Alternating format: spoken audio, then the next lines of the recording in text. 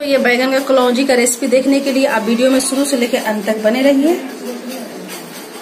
ये बहुत बैगन है, ये तेल में है और बाकी हेलो दोस्तों, नमस्कार।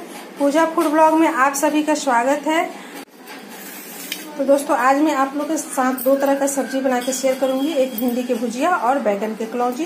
दोस्तों, बैगन का जो कलौजी में डालने की जो मैंने मसाला निकाली है, वो है सरसों है, धनिया है, मिर्चा पाउडर, हल्दी पाउडर और लहसुन। पहले मैं इसको मिस पीस लेती हूँ, पीस के। मसाला रखा था, वो मैंने पीस लिया है। अब यहीं पर क्या करेंगे दोस्तों? गैस को जलाएँगे। और एक तरफ़ भिंडी का भुजिया बनाऊँगी, और एक तरफ़ बैगन का कलौजी बनाऊँगी। तो ये कढ़ाई को रख लेती हूँ दोस्तों, ये लोहा का कढ़ाई है। बहुत ही भारी है, और इसमें का खाना बहुत ही टेस्टी लगता है अच्छा लगता है। तेल डालेंगे।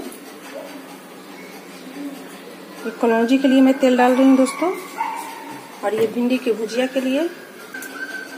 तो दोस्तों, ये वाला तेल गरम हो गया है। ये भिंडी का जो भुजिया बनाना है, ये तेल गरम हो गया है। तो यहाँ मिर्चा डाल देते हैं। ये जो भिंडी काट के रखी है, इसको डालती हूँ। और इसको कम कम आँच पर भूजना है। ज़्यादा हाई फ्लेम नहीं करना है।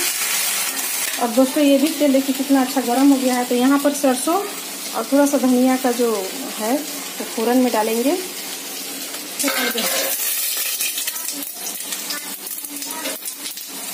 और ये जल गया है। अब इसमें दोस्तों हम डालेंगे मसाला।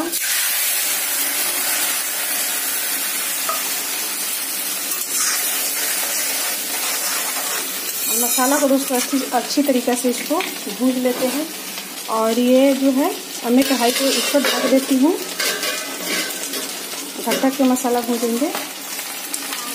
तब तक ये भिंडी का भुजिया देखती हूँ तो भिंडी का भुजिया आता है। इसलिए भिंडी बहुत अच्छा है, मीठी मीठी है। इसमें डालेंगे स्वाद के अनुसार से नमक।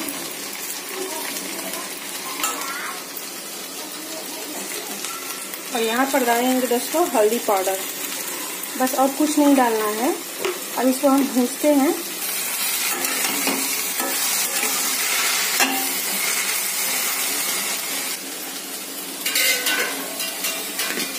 और इसमें भी दोस्तों हम स्वाद के अनुसार से नमक डाल देते हैं।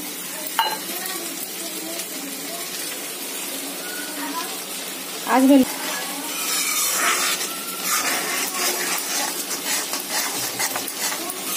तो जो हमारा मसाला है, कुछ इस तरीके से भूज के रेडी हो गया है भुजा के।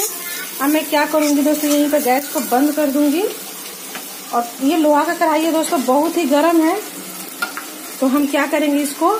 कपड़ा से उतारेंगे ऐसे। बहुत गर्म है दोस्तों सच बता रही हूँ। ये। तो इसको ठंडा होने देती हूँ पहले। एकदम परफेक्ट हो जाया है मेरा मसाला। और घर तो ये देखिए दोस्तों हमारी बेटी आई है खुशबू लेने के लिए। इसको महक रहा है ना खुशबू आ रहा है। तो ये हमारे दोनों बच्चों आकर देखिए कैसे कढ़ाई में झाँक रहे हैं ये लोग। सोच रहे क्या बन रहा है? क्या कैसा लग रहा है परी? अच्छा लग रहा है। खुशबू दे रहा है? अरे वाह। जो है बहुत आराम से धीरे धीरे भुजा रहा है। और भिंडी भुजने में हरी नहीं करते नहीं तो अच्छा से नहीं भुजाता है। धैर्य से रखते हैं भिंडी तो बैगन कलौजी बनाने के लिए। अगर आप इस तरह का बैगन लीजिएगा ना छोटा छोटा तो अच्छा लगता है। और इसको क्या करेंगे ऐसे करके? काटेंगे इसे। चार भाग में।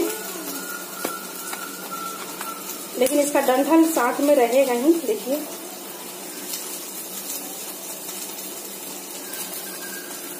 तो मैं सारे बैगन को इस तरह से काट ली हूँ।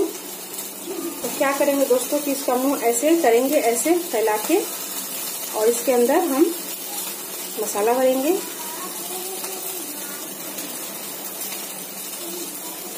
दोनों तरफ़ से करेंगे ऐसे। ये क्लौजी बहुत ही अच्छा लगता है दोस्तों। कुछ हाथ से ही कर लेंगे, हेल्प ले लेंगे हाथ से क्योंकि चम्मच अंदर नहीं जा पा रहा है ना। तो हाथ से भी कर लेंगे उंगली की सहायता से। और सब भर के दोस्तों, इस तरीके से सब वैसा ही हम भर लेते हैं।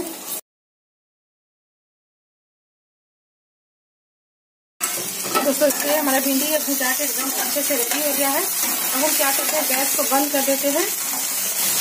और जब भी भिंडी भुजने तो उसको तुरंत से नहीं ढके उसको थोड़ा देर जो भी है, गैस का जो क्या बोलते हैं, बार उसको बाहर ऐसा ही निकले निकलने दें। अब हम क्या करेंगे? कढ़ाई में तेल डालेंगे और तेल को अच्छे से नचाएँगे दोस्तों। चारों तरफ़ सब जगह तेल लगना चाहिए। और तेल को अच्छे से गर्म होने देंगे। अब हम क्या करेंगे? इसमें हम सारे बैगन को छोड़ देंगे।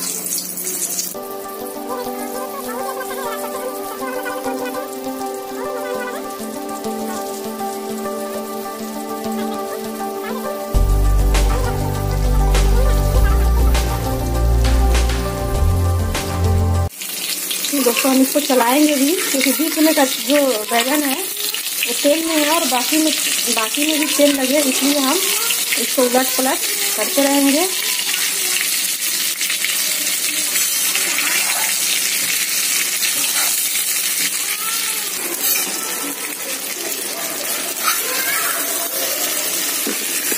तरीका